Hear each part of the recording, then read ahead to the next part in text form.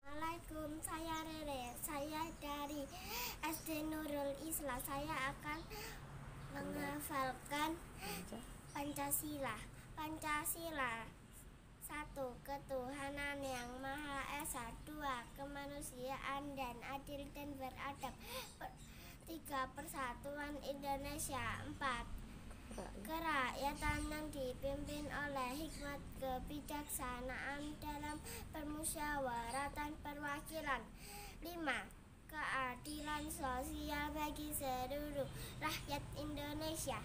Sila ke satu bintang. Sila kedua rantai. Sila ketiga pohon beringin. Sila keempat benteng sila kelima tadi dan kapas Assalamualaikum